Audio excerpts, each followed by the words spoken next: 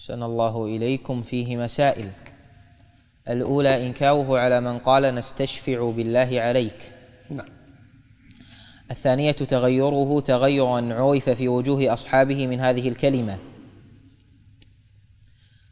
الثالثة أنه لم ينكر عليه قوله نستشفع بك على الله. لأن هذا جائز. أن يطلب من النبي الشفاعة جائز لكن لا يطلب من الله الشفاعة. الله لا يشفع سبحانه وتعالى. الله يفعل. نعم. الرابعة التنبيه على تفسير سبحان الله نعم. الخامسة يعني أن كررها ليبين خ- يعني صعوبة ال- الكلام الذي قاله خطر الكلام. نعم. الخامسة أن المسلمين يسألونه الاستسقاء.